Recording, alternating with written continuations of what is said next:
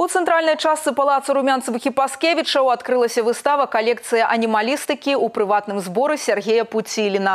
Усе прадстаўленыя экспанаты прысвечаны братам нашым меншым.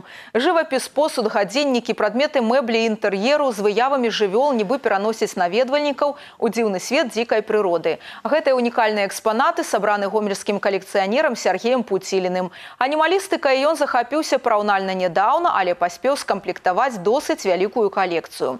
У экспазіцыю ўвайшлі прадметы выяўленчага і дэкаратыўна-прыкладнога мастацтва, выкананыя лепшымі майстэрнямі заходняй Еўропы і расійскай імперыі 19 пачатку 20 стагоддзяў, а таксама савецкага часу. Усе прадстаўленыя на выставе рарытэтныя рэчы прасякнуты духам падарожжаў, нязведаным светам дзікай прыроды і пяшчотай да хатніх гадаванцаў.